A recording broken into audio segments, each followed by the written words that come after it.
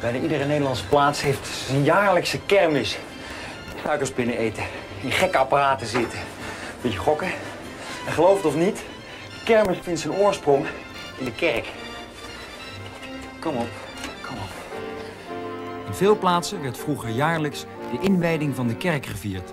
En in de loop der tijd begonnen zich tijdens dit feest een aantal nevenactiviteiten te ontwikkelen. Kooplui zagen wel handel in de menigte die er jaarlijks op de been was. Met die kooplui kwamen, in tijden van gebrek aan artsen, ook kwakzalvers mee. Die probeerden het publiek hun wondermiddeltjes aan te smeren. Er reisde vroeger zelfs een soort uh, chirurgen rond. En die voerden operaties uit waar de plaatselijke arts zich niet aan waagde. Nou, zo'n reizende chirurg had één groot voordeel. Als de operatie op een fiasco was uitgelopen, dan was hij de volgende dag verdwenen.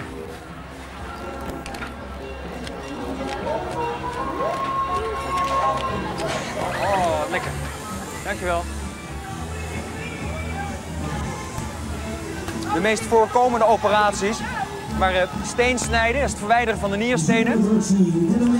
Staarsteken, het weghalen van het vocht uit de oogbol. En kiezen trekken.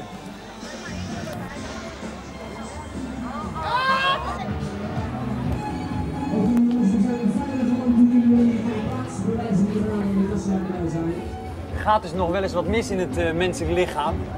Daar bleek het publiek voor te zijn. Dus er kwamen allerlei tentjes en daarin werden verschillende spelingen der natuur tentoongesteld. In de kermiswereld heet dat het kijkwerk.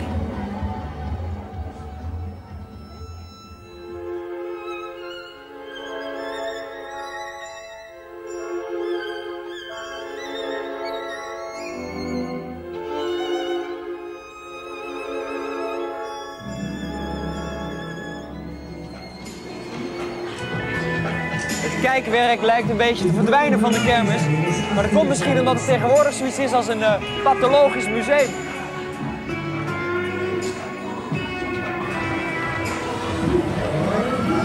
Bovendien zijn we vandaag de dag in een beetje griezelveel toch heel wat meer gewend. Toch even kijken.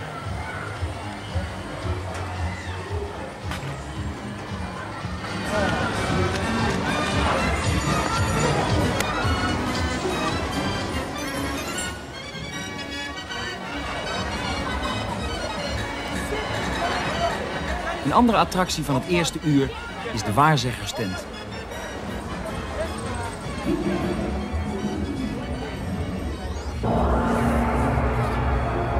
Goedemiddag, ik zou graag weten hoe het met mijn toekomst zit.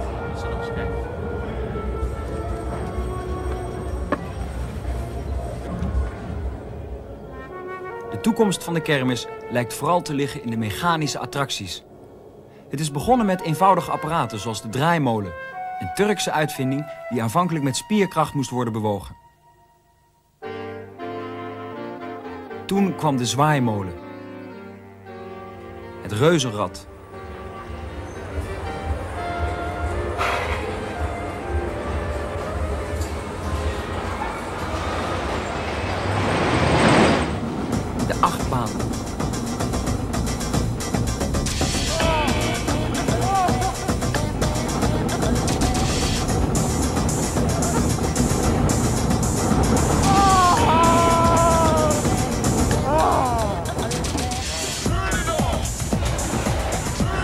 Botsauto's.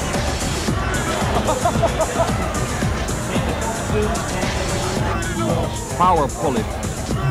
Enterprise. Ranger.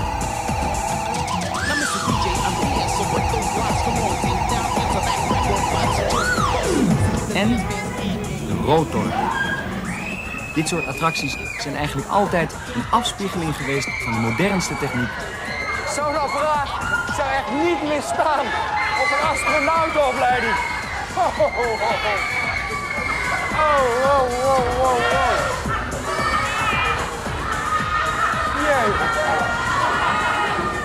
Oh.